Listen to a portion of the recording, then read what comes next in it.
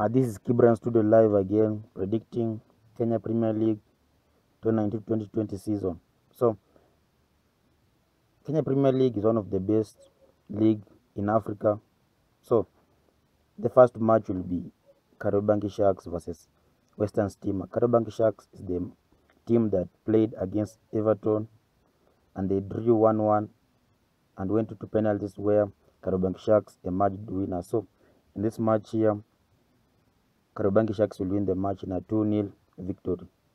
The next match is Wazito versus Nzoia United. So, Wazito versus Nzoia United. Nzoia will emerge victorious with a 1-0 victory. Then Kisumu. Kisumu All Stars versus Ulinzi Stars. Again, this will be one of the good match. So, I'm predicting that Ulinzi Stars will win the match in a 2-0 victory.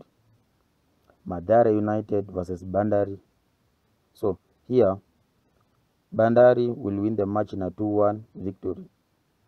The next is Sony Sugar versus Kenya Commercial Bank. This is KCB. So, Sony Sugar versus KCB. Here, the match, I believe that the match will end in a 1 1 draw.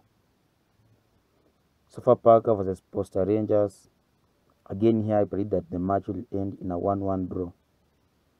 Gor Mahia versus Tusker. Gor Mahia is one of the best teams in Kenya. So far, is the greatest team I've seen in this Premier League. So, Gor Mahia will win the match in a 2 0 victory. That's my prediction. Then, second last, my prediction is Kakamega Homeboyz versus FC Leopards. So, here, Kakamega Homeboyz will win the match in a 1 0 victory. Then, lastly, my prediction is Zoo Kericho versus Chemelil. Here, Zoo Kericho will win the match in a 2 0 victory. So, I'm happy again to predict this match. If you are a Kenyan, you've just seen this prediction, just subscribe now. Make sure that you don't miss future predictions. If you you love this this Kenya Premier League, even if you're in Asia, Europe, whatever there you're saying, subscribe. Make sure that you don't miss. This channel contains say like every every leagues in the world. So like English Premier League, Serie A, Bundesliga, La Liga, there, USA Major League Soccer, Japan J League, so Ireland. So we have many more and others. So thank you again very much.